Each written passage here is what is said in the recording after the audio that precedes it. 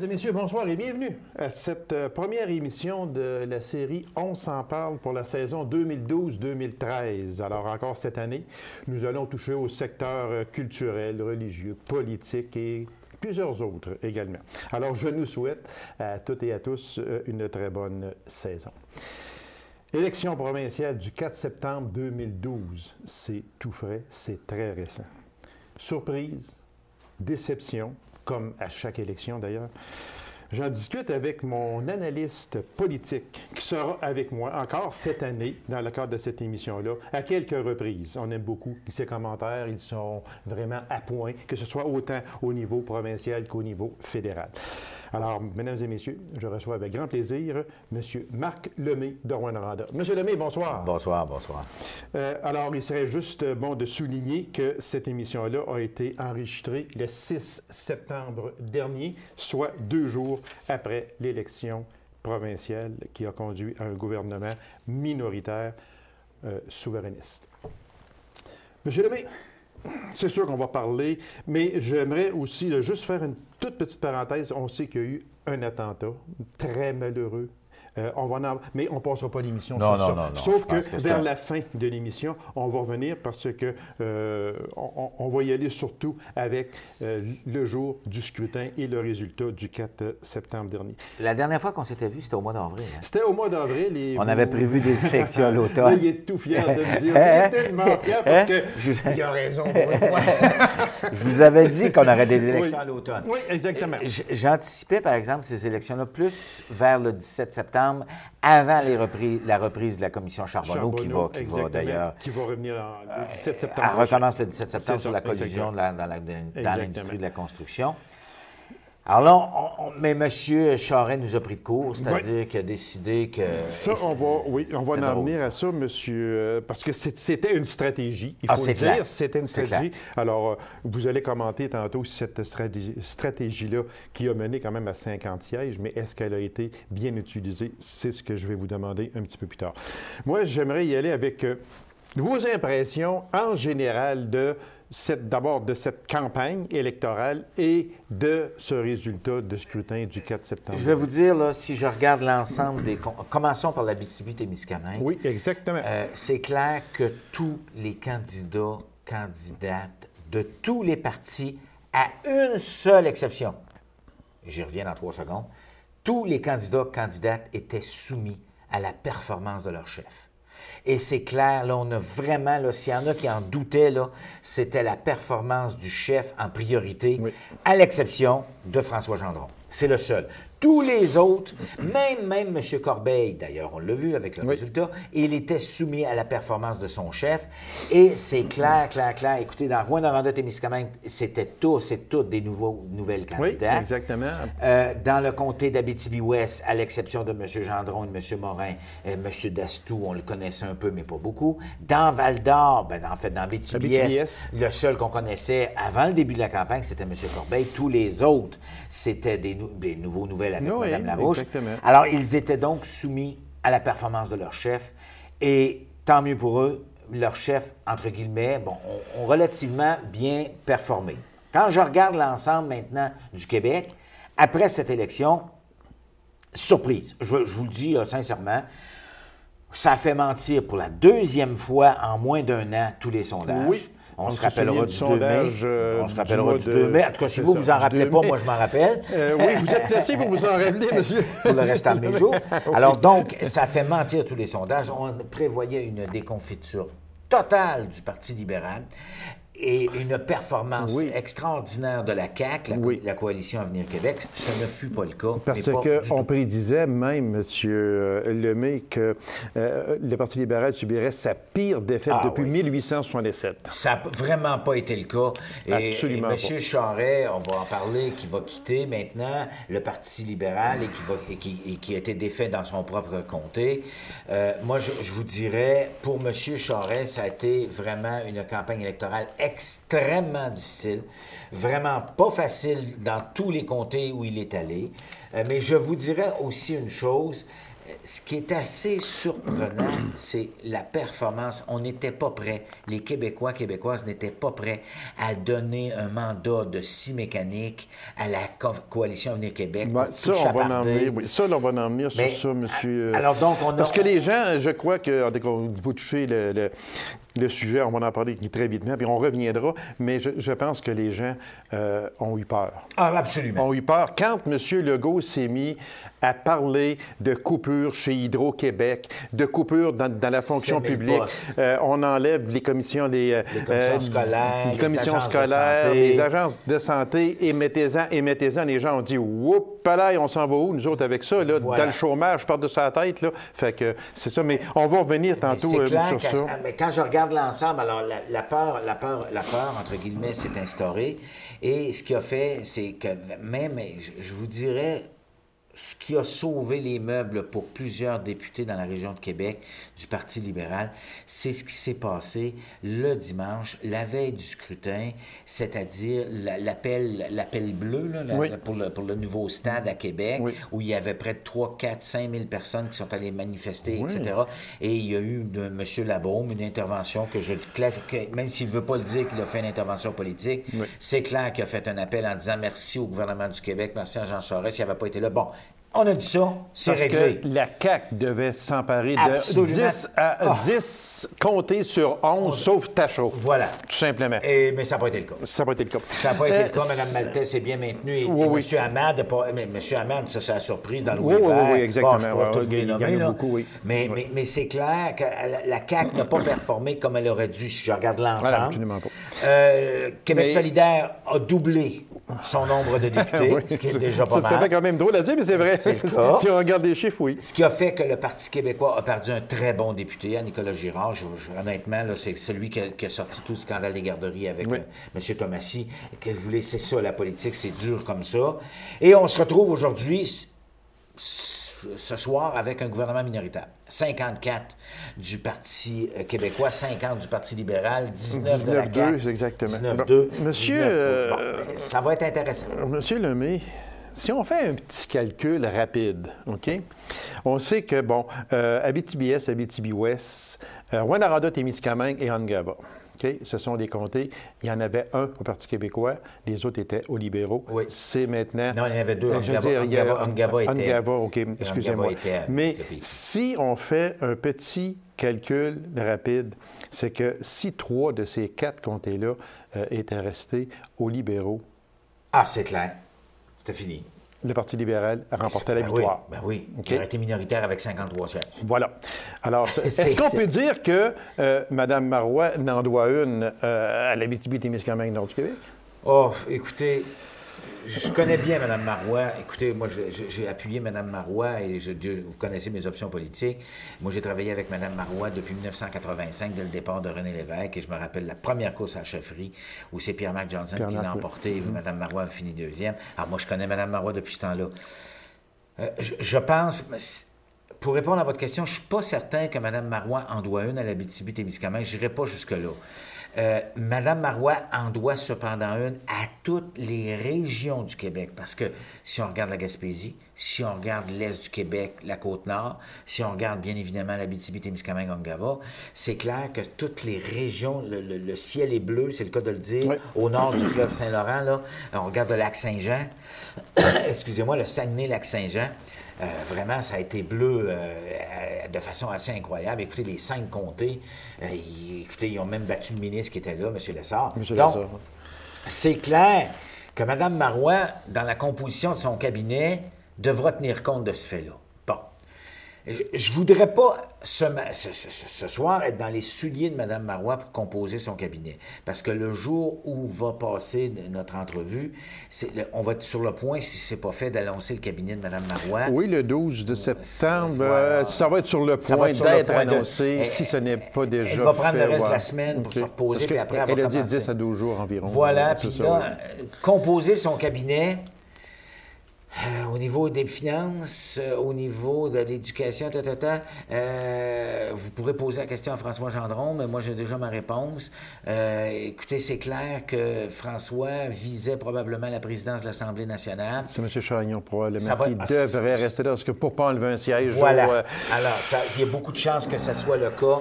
Donc, M. Chagnon demeure président de la Chambre. donc, à ce moment-là. M. Gendron devrait être ministrable? Ah, moi, non. Si, si- si François n'est pas ministre, là, je, je- je- pardonnerai, euh, je ferai des téléphones, comme dirait quelqu'un que je connais. mais, euh, mais je pense que François mérite un bon ministère. Moi, je- entre autres, celui que je vois, là, pour moi, tout désigné, c'est clair que c'est ministre responsable de la Angava, responsable du plan Nord et ministre des Ressources naturelles. Il faut que je sois honnête, si je, je, je le vois comme ça. Et parce que, Vous avez une, une- une vision un peu semblable à la mienne, monsieur, Ah, euh, écoutez- monsieur. Est-ce que c'est exactement dans ça que je verrais, monsieur? Ben, euh, moi, moi c'est parce que, bon, écoutez, il y, a, un- il y a un très, très gros dossier, euh, puis je pense que pour le confier à quelqu'un, ça va être le Ça- ministre ça des prend, Finances ouais. et tout ce qui est reven- et re- euh, revenu des mines, tout ce qui est la mise en œuvre de la loi, de la nouvelle loi sur les mines, ça va prendre quelqu'un avec respect qui connaît le dossier pas mal. Et là, Et quand je regarde si les monsieur- 54 oui. élus, là... Oui. Je euh, pense que celui qui connaît le plus le dossier du Nord, ben, c'est chez lui. hein? Ben, c'est chez lui, oui et non. Si on prend de l'autre côté, Je Saguenay, reprends- exact. Il y a le Saguenay, mais il y a. Angava avec M. Ferland. aussi, Ferland, oui. Il y a euh, de, de tout le côté de la Côte-Nord, de Duplessis, tout Oui. ça. Alors, mais, mais moi, je pense que si on veut donner une responsabilité majeure à, à- à François pour probablement un de ses derniers mandats, je pense qu'il doit mettre en œuvre la nouvelle loi sur les mines. Euh, il y a des gros, gros dossiers en C'est Abitibi. 14 ans, je, je- ma mémoire est C'est fidèle. 14, oui. C'est 14, OK. Et, et Ouais. c'est- c'est clair que ça sera un très gros dossier. Pendant ce temps-là, les deux autres nouveaux, euh, M. Ferland aussi devrait, selon moi, moi je, je le verrais beaucoup, M. Ferland, comme adjoint au ministre des Affaires indiennes. Et, du- et- et- et- parce que là, c'est clair qu'il y a des gros dossiers au niveau des Autochtones où monsieur, il y aura un travail à faire là. Je ne sais pas, je ne suis pas dans les souliers de Mme Marois. Et pendant ce temps-là, ben, nos deux nouveaux élus, nouvelles, euh, Mme, Madame Larouche et M. Chapado, vont faire leur classe. Ils vont devoir les faire vite. Parce que celui qui vous parle connaît ça des gouvernements minoritaires. Pendant sept ans, j'en ai vécu pendant sept Voilà. ans de temps. Donc, on est, et comme je le disais, on est au jour 16. On, est- euh, on passe le 12, nous? Oui, c'est ça. nous euh, on, on est le 12 ce soir. On oui, est le 12. Exactement. oui. Donc, le 12 septembre, on est dans la jour 8 de la nouvelle campagne électorale. Parce que c'est clair. c'est- un politicien qui Un ancien politicien, mais qui a mais- encore, il a encore le jus de la politique. mais, mais, mais ça m'apparaît évident. Écoutez, c'est un Oui, c'est gouvernement sûr. Non, minoritaire. Donc, il faut qu'ils fassent commence leur classe. déjà à en parler Ah, de écoutez, 18 c'est à ça. 24 mois à peu près en découpe. Ben, écoutez, écoutez, on- regardons les choses là, honnêtement telles qu'elles sont. Vous avez un parti qui, est, qui, va, qui va être l'opposition officielle sans chef. Oui. Donc, ils vont Donc, une campagne à la chefferie à la presse énormément. Et- Janvier 2013. Oh, j'irai pas si vite que ça. Non? Moi, j'irai probablement plus au printemps 2013. Ah oui? Ah OK. oui, oui. Mars, avril 2013, là, euh, la veille de Pâques, dans ces coins-là. Parce que il y a du travail à faire. Oui, mais moi, là, je vais vous poser une question, M. Lemay. Oui. Une course à la chefferie, il va en avoir une, C'est clair, officielle, parce que tout de suite, le lendemain, M. Charest a annoncé sa démission et sans faire aucune, au- aucune politique partisane, je dois dire que je n'ai jamais, dans, dans- ma vie, parce que je suis beaucoup de la politique, je n'ai jamais vu un discours aussi humble que le discours était- de M. Charest qui a annoncé sa démission. Ben moi, je connais M. Charest depuis 90, 91, 92, quand il était ministre des Sports à Ottawa. J'étais, un président d'une fédération Oui. sportive canadienne et j'ai rencontré à plusieurs reprises Jean Charest. J'ai énormément de respect pour l'homme. J'aurai toujours du respect pour Jean Charest. Euh, il a fait un travail extraordinaire. Ça, il a donné 28 ans de sa vie, 28 Oui. ans de sa vie à la vie politique canadienne et provinciale du Québec. Alors moi, je- non, je trouve que l'homme mérite euh, les hommages qu'on va lui rendre. Et j'espère qu'on va être assez honnête pour reconnaître que ce- cet homme-là a travaillé pour le développement du Québec. Oui. Ça n'a pas toujours été facile. Pensons à la dernière année. là. Regardez, on est assez bien Très difficile. Alors, c'est clair qu'on aura une course à la chefferie du Parti libéral. Ouais, mais- Et, et- là, c'est tout va se mettre en place, mais qui Bon. peut possiblement... Moi, je veux en venir sur ça, M. Lemay. Je sais que vous suivez beaucoup la politique encore, même si vous êtes un retraité involontaire dans la Ah, politique. oui, j'aime bien le mot involontaire. Mais moi, à mon point de vue, à moi, parce que je peux émettre des opinions, Oui, même si je suis droit. animateur, mais à mon point de vue, à moi, moi, je verrais, avec tout ce qui s'est passé dans la dernière année, surtout, on a traité de, à peu près tous les noms possibles le Parti libéral. Est-ce que vous êtes d'accord avec moi que je verrais un nouveau chef complètement à l'extérieur de ceux qui sont là présentement, et je parle des Jean-Marc Fournier, Paradis et compagnie, qui vont probablement euh, poser Le leur nom, candidature. Oui, je sais, mais c'est que non, mais il reste quand même que pour par des cas. Il ne sera pas là, sauf qu'il peut être là comme, Oui, euh, comme, euh, comme candidat. Mais moi, ce que c'est que je veux en emmener, êtes-vous d'accord avec ça que ça serait une personne influente, mais qui n'est pas actuellement dans le Parti libéral? Vous avez raison, c'est possible. Cependant, ça voudrait dire qu'il faudrait qu'il y ait une élection partielle Oui. pour le faire élire. Oui, exactement. Donc, donc, c'est- Parce que déjà, il y en a qui ont fait leur siège à, à M. Charest, déjà. Non, mais, connaissant Jean Charest, Non, non, il il a été élu à. Sherbrooke, il n'ira pas à Saint-François. Non. C'est clair. Et même si M. Reid y avait affaire, non, non, non, non. Il n'ira pas dans un comté de l'Ouest non plus, C'est absolument clair, pas. clair, clair. Ouais. Alors, on oublie ça, M. Charest, c'est fini. C'est fini. La période Jean Charest est terminée et il va y avoir quelqu'un de l'extérieur, Mm. peut-être. Mais à si je regarde l'intérieur actuellement des 50 Ouais, est-ce qu'il y aurait des noms? Il y a les stéréos que je vois. Il y a. C'est euh, le qui a tenu tête à la CCQ, c'est une, très grande politique. LFTQ. Oui, Et exactement. bon, donc, il y a peut-être elle. euh, il y a- sûrement d'autres personnes qui, vont se mettre en, va- en- en valeur au cours des projets. Bon, vous avez parlé de M. Fournier. Bon, la rumeur, si on regarde ça, là, M. Couillard, l'ancien ministre, de l'é- de- de- le ministre de la Santé qui était, qui était là. Euh, mais moi, mon choix, là, je vous- moi, je vous le dis avec respect, c'est Nathalie Normando. Si Nathalie Normando décide qu'elle revient, euh, vous- Elle est une, Une un membre très influente. elle euh, est une de- femme influente, une femme qui connaît les rouages du parti, Oui. qui a été amenée en Savez-vous que je n'avais pas pensé Mais à Mme Normando, Ah, moi, mais je- oui, je- euh, vous dis- venez de... Oui. Je vous dis, Nathalie Normando, euh, moi, je l'ai connue parce que quand j'étais député fédéral, j'ai eu l'occasion de la croiser à quelques reprises. Une Je l'ai sa. Une dame extraordinaire. Oui. Et là, parce que là, je suis un peu chauvin, mais imaginez les débats à la Chambre- à l'Assemblée nationale. Pauline Marois, fais ça. Dois-je vous dire que ça serait intéressant? Euh, nous pourrions avoir beaucoup de plaisir à surveiller la scène politique du Québec au cours des prochaines années. Bon, mais cela étant, un gouvernement minoritaire, c'est entre 18 et 24 mois. Oui, c'est ça, exactement. Si je regarde, comme vous venez de le faire, la- la- la- la- l'élection qui vient d'avoir lieu, euh, une course à la chefferie du Parti libéral qui s'enligne pour probablement le printemps 2013. Alors, c'est clair qu'on a pour au moins un bon 12 mois sans qu'il... sans- Bon, là, Mme Marois peut commencer à mettre ses choses en place. Oui. Un, là, arrêtez, vraiment, il faut qu'il arrête de charrier aussi, là, puis euh, je pense que M. Gendron pourra vous le con- vous confirmer. Ça prend juste un décret du gouvernement pour abolir les frais Bon. de scolarité. J'en reviens là-dessus Alors, parce que là- c'était mon autre question, mais c'est marqué justement, là, vu que vous ouvrez une porte, on va, on- on va y aller tout de suite dessus, M. euh, Lemay. On va rentrer dedans. Oui. Comment Mme Marois, d'abord, elle est menottée parce qu'elle est dans, une, euh, dans un gouvernement minoritaire très, très, très faible? Comment elle va faire? Oui, mais oui, elle est Elle a quatre sièges. Il y en a un Ben, qui est mieux de ne pas être malade, l'autre est mieux de ne pas être parti, euh, Ben, parti là-bas, etc. ouais, mais, c'est- mais c'est marqué- Par contre, Le whip, elle le va whip du gouvernement va être très important. Ben oui, exactement. Ça, Et- mais lui, lui ou elle va avoir tout un rôle Je, à je jouer. me rappelle de mes, années, Ah, mes non, non, bonnes mais- années, mes bonnes années quand notre troupe disait qu'il fallait qu'on soit là. S'assurer, regarde, tu vas rentrer Ouais. en ambulance s'il faut, mais il faut que tu sois Voilà. là. Comment elle va faire pour respecter parce qu'elle a fait de grosses promesses, Mme Marois, mais on va juste en prendre, là, euh, dans des cas, le- la hausse des frais de scolarité, la loi 78, euh, surtout euh, abolir la taxe santé de 200 par personne. Comment elle va faire? Parce qu'on sait On que la CAQ et le Parti libéral ne bon. voteront pas avec elle. Donc, il reste on Québec on va y aller par solidaire. étapes. On va y- Allons-y par étapes. On y va. Un, la- la- les frais de scolarité, un décret, c'est réglé. Parce que c'est par décret. Alors, il n'y a pas de problème, elle n'a pas besoin de l'appui de la Chambre. OK. Réglé. Ben, de la Chambre étant l'Assemblée nationale. Oui, oui, oui, oui. Alors, pas besoin. Alors, ça, ça va être réglé, vous allez voir, ce ne sera pas trop long. Ah, il faut. Et elle va dire, convoquer. Parce que tous va- les étudiants attendent après ça. ah, mais ça, c'est réglé, là. Regardez. Elle va convoquer un sommet. Et c'est clair qu'il va y avoir des- un sommet sur l'éducation. Et là, là, là, il va falloir qu'il se passe quelque chose après le sommet, puis ça va presser. Bon, au niveau de, au niveau de la- l'amélioration, écoutez, c'est pas normal qu'un vice-recteur qui quitte une université reçoive euh, et qui est mis presque dehors parte avec, avec une prime de, de séparation de 600 000. Non, non, Alors, c'est des exagérations. Bon.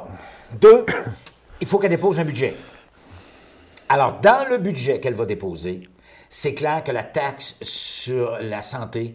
Le fameux, là, ce qu'on parle du de- 200 dollars par, 200 puis par du 400, personne. bon, euh, ça, ça va 400 disparaître. par famille. Elle peut le faire disparaître par son budget s'il est appuyé par la Chambre, par l'Assemblée nationale. Je pense, avec respect, qu'ils vont l'appuyer. Et, et- et ils n'auront pas beaucoup le choix de l'appuyer, sinon on se retourne en élection.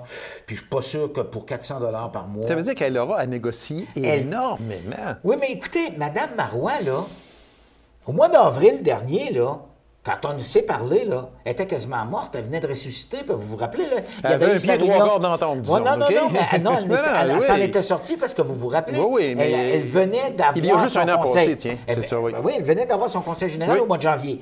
Alors, on disait c'était pas fort, nanana, comment qu'elle va faire? Elle a réussi à passer à travers tout ça Oui, chapeau. je pense que Mme Marois va être capable de négocier avec les, les représentants du Parti libéral en disant voici, moi j'ai besoin de ça, j'ai besoin de ça, j'ai besoin de ça. Bon, il y a une chose qui est certaine, OK? On dira ce qu'on voudra. Les gens François Lisée et autres Bernard Drinville pourront dire ce qu'ils voudront. J'en suis profondément convaincu.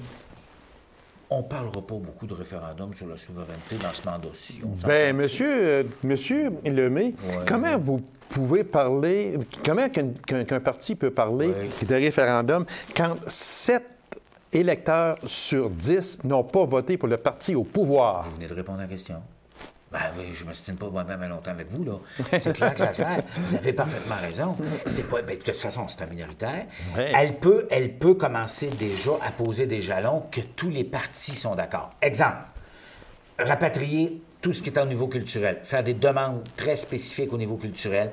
Euh, elle peut faire des demandes. Au niveau de l'assurance-emploi, par exemple, elle peut faire des demandes. Et ça, elle va obtenir l'appui de tous les partis. parce Bon, que, sûr, ben, c'est tout sûr. le monde est... Oui, oui, Bon, oui, il y a des choses qu'elle peut déjà mettre en place. Oui. Mais au niveau souveraineté, là, on va s'entendre que c'est pas le temps d'en On parler. va, on, on va repasser dans, dans l'autre mandat, probablement. Euh, et avant d'aller là, avant même de penser, puis là, ben, ça va être l'aile gauche, là, les SPQ libres, puis toute la patente, là, qui vont falloir qu'ils se calment, là, parce que c'est clair. Les caribous que, Oh, que ok. M. Legault Ouais, le caribou. Alors, parlons des caribous, ça va être justement à la chasse dans quelque temps. Est-ce que M. Gendron est un caribou? Tiens, je vais poser la, question. question. mais, mais, mais moi, je vous dirais, ce qui est, qui est important pour Mme Marois dans ce premier mandat minoritaire, je dis bien premier mandat minoritaire, premier mandat, c'est d'assurer qu'elle peut bien gouverner comme chef d'État. Tous les médias, tout le monde, comme dirait quelqu'un, va l'avoir à l'œil. Ah, c'est clair. Alors, c'est clair qu'elle n'a pas le droit à l'erreur. Alors, euh, elle a du travail à faire, là. Mais moi, je connais assez bien Mme Marois. Si elle est rendue ou elle est rendue la première femme chef d'État au Québec, première femme élue première ministre, on va vous dire une affaire, elle va travailler. On va aller avec des petites questions vite, monsieur, parce qu'il reste, il reste à peine cinq minutes. Ben voyons donc, Monsieur. là. On passerait les autres. affaires. 27% du vote à la CAQ, c'est juste 5% de moins que le parti au pouvoir. Et déjà 19 sièges seulement, il y a un problème certain. Et la CAQ, il faut dire, est arrivée deuxième dans une cinquantaine de comtés. Est-ce que c'est le parti qui peut, à la prochaine élection, là, vraiment venir mêler les cartes? Moi, je dis plus rien.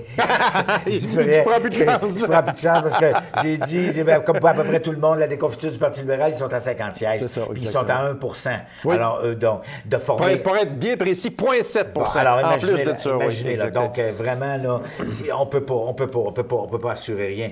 On ne sait pas ce qui va se passer. Comment M. Legault va être capable de maintenir ses troupes en arrière? Comment il va être capable de les discipliner Il y a un travail lui aussi à faire. Là, Oui, parce qu'il y a un certain M. Duchesneau. Ouais, là, ce qui que- était- lui, il aime que- ça parler, puis il aime ça les caméras de TV. Comme dirait quelqu'un, mon ami, il aime bien Kodak. Alors lui, là, il peut se débrouiller pour être d'un Kodak euh, pas mal souvent et, faire du trouble à M. Legault. Alors, ça va être intéressant de suivre ça. Mais, ce que je vous dirais, le travail important à faire actuellement, c'est ces trois partis politiques. Tu as, vraiment maintenant des luttes à trois. Et on va surveiller. Écoutez, c'est 30. Je veux pas dire d'ennerie, là, mais il me semble que c'est une trentaine de comtés où les députés ont été élus par moins de 1000 votes. C'est 31 comtés. 31? 31 Alors, comtés. Imaginez, imaginez, imaginez, ça là, ça vire, vous. Oui, exactement, oui. Regardez, là, ça, ça va Euh, être intéressant. Très vitement, la défaite du docteur Gaétan Barrette, Merci euh, il a quitté très rapidement. Lui, c'était clair, net et précis. La CAQ au pouvoir, ministre de la Santé où je m'en vais. Ben, c'est- That's c'est- it, that's c'est clair. bonsoir. On ferme C'est- les livres. C'est clair. Euh, Plus de son, plus d'image. Euh, victoire de M. Duchesneau, très vitement. Je pense À, que... à surveiller, comme à dire, surveiller. à surveiller de très près. Est-ce comme que- dirait M. Legault, je pense que je vais y mettre un espion à col coller dessus. Est-ce qu'on peut dire que M. Legault euh, euh, va très souvent avoir euh, un petit regard vers l'arrière au je cas où pense, M. non, moi, je pense qu'il va, il va le suivre de près. Parce que euh, défaite de Nicolas Gérard, vous en avez parlé, ça, c'est un moins pour... euh, Ça, c'est un moins pour Mme Marois. c'est oui, clair. exactement, parce que C'est lui qui est sorti justement de l'affaire Automatie. C'est clair, c'est une grosse perte. Par contre, ça nous permet de voir une, une- une- une nouvelle, une nouvelle femme. Une femme arrivée à l'Assemblée nationale qui n'est pas piquée des verres. Je le dis avec respect. Mme Françoise David est Ah oui, vraiment oui. quelqu'un... euh, D'ailleurs- c'est- elle qui a le plus impressionné dans le fameux débat, débat. du dimanche Alors, soir. donc, là. ça va être, Exactement. Ça va être à suivre. Euh, et aussi, euh, ben alors, il reste à peine quelques minutes. Euh, le fameux attentat, le soir, j'aime pas en parler beaucoup. On, n'en a parlera fait pas longtemps, mais énormément, mais seulement que euh, ça aurait pu être beaucoup plus grave Ah, que ça. Quand entendu. la AK-47 là, s'est embrayée là, à ce moment-là, là, je m'excuse, À mais... partir du moment donné où la personne, et, là, il y a des questions qui vont se poser, certains, parce que la- je- je- vous pourrez parler peut- peut-être plus de ça avec M. Gendron, mais la garde rapprochée des, des personnalités, c'est la Sûreté du Québec. Oui. OK? Mais tout ce qui est la garde des lieux physiques, c'était la Ville de Montréal. Qui n'a pas fait sa job pour surveiller comme il faut les portes arrière de- du métropolis? Il y a des questions qui vont se poser là, je vous garantis. Là. Ça, c'est clair. Alors, ça va être. Mais, mais si la- c'est, clair que si le AK-47 n'a- ne s'était pas enrayé, ça aurait été vraiment un massacre, il faut le dire honnêtement. Euh, merci à je sais pas qui que Ouais. part en haut. Là. On l'appellera comme on voudra. ça aurait été terrible, Mais ça aurait été terrible. euh, alors, il faut- mais, mais c'est un fou. Il ne représente pas. C'est pas vrai. Moi, je, je le- je me défends Là, de c'est un geste isolé, là. C'est un geste isolé. Oh, oh, oh, oh, c'est clair. C'est un malade mental. Et je voudrais bien être son avocat pour qu'il soit à Pinel pour quelques mois. Vous êtes un avocat déjà. Monsieur, euh, une minute, OK? Oui. Une minute seulement. Est-ce qu'il se pourrait que Mme Marois euh, essaie de se mettre à dos le fédéral pour euh, des rapatriements de dossiers ou peu importe, pour dire euh, à face euh, au, au Québec, regardez, je ne peux pas rien faire, on ne peut pas rien faire, pourquoi qu'on ne s'en va pas dans notre se- propre pays? C'est trop de bonheur mettra, oui, elle ne se le mettra pas à dos le fédéral sans l'appui des deux autres partis. Alors, elle va aller dans des champs de compétences qui touchent directement le provincial, la province de Québec. L'éducation postsecondaire, l'assurance-emploi, tout le dossier culturel. Moi, je pense que c'est les trois secteurs où là, Mme Marois est en terrain sûr, Sûr, oui, avec, les deux, exactement, oui. avec les deux autres partis qui formeront l'opposition officielle. Monsieur Lemay, merci infiniment. On va sûrement se revoir. On va surveiller euh, le, le prochain Conseil des ministres. Oui. On va surveiller surtout, moi, ce qui est très intéressant, ce que M. Gendron va, va, va Ben, la être place de nos dans- quatre députés. Oui, exactement, mais ce que M. Gendron va être dans le Conseil des ministres, à quel poste il va être. Ben, c'est un sur deux qui va avoir un job. là. Probablement. Ben oui, parce qu'écoutez, il y avait- à quel mettre 20? Il y avait 30 ministres dans le gouvernement précédent. S'il y en a 25, 25, c'est quasiment un sur job deux. sur deux. Merci beaucoup, M. Lemay, et on se revoit plaisir. certainement plus tard cet automne pour analyser ce Conseil des ministres-là. Merci. C'est moi qui vous remercie. Alors, mesdames et messieurs, merci d'avoir été là. Je donne rendez-vous à une prochaine émission de On s'en parle. Mon invité, la semaine prochaine, M. François Gendron. Merci, au revoir.